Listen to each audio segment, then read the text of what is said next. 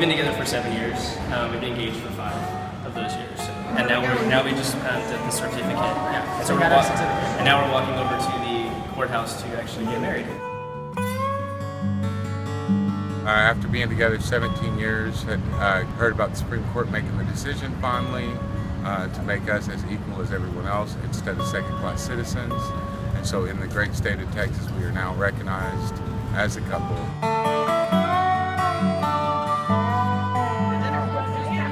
Down to Texas about 15 years ago, we've had a warm embrace, and, we, and being a part of everyone, it's, it's been magical. So no complaints about anything. Doesn't get any better.